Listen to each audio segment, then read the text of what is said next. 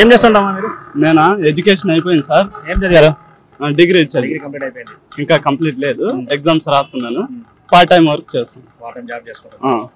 ఇప్పుడు ప్రభుత్వం కొన్ని సంక్షేమ పథకాలు పెట్టింది. నవరత్నాలు పెన్షన్ కానీ అమ్మఒడి కానీ ఎలా ఉన్నాయండి ఈ పథకాలు అన్ని బాగున్నాయి సార్. బాగున్నాయి. ఇప్పుడు వాలంటీర్ అనే పథకం ఓకే. వాలంటీర్ అనే పథకం పెట్టాడు. ఆ పథకం ద్వారా మనం వేరే ఆఫీస్కి వెళ్ళే అవసరం లేదు. ప్రజలకు చాలా బెస్ట్ ఆప్షన్ అది. అలాగే కొన్ని నిరుద్యోగులకు కూడా ఉద్యోగాలు వచ్చినాయి ఫ్యూచర్లో ఇంకా వచ్చే అవకాశాలు ఉన్నాయి. అధికారంలోకి వచ్చినాక ప్రతి సంవత్సరం నేను జాబ్ క్యాలెండర్ పెట్టి నోటిఫికేషన్ ఇస్తానన్నాడు. నెరవేరింది? కొన్ని నెరవే కొన్ని నెరవేరుతున్నాయి ఇంకా కొన్ని ఉన్నాయి సార్ డిఎస్సి వదిలాడా ఏమన్నా? లేదు సార్ మళ్ళీ?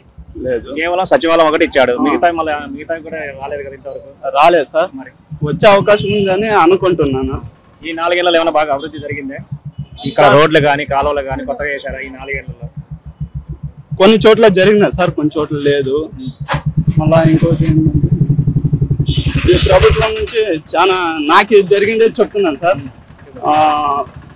వేరే ప్రభుత్వాల్లో పెద్దలు పెద్ద అంటే పెద్దవాళ్ళు అంటే ఇంకా అందరు పెద్దవాళ్ళు ఉంటారు. కదా వాళ్ళకోటి అన్ని పథకాలు లభించేవి ఇప్పుడు ఈ పథక ఈ ప్రభుత్వంలో ప్రతి ఒక్క సామాన్యునికి కానీ లభిస్తున్నాయని అభిప్రాయం. డైరెక్ట్గా వాళ్ళ అకౌంట్గా పడుతున్నాయి వాళ్ళ అకౌంట్కే పడుతున్నాయి.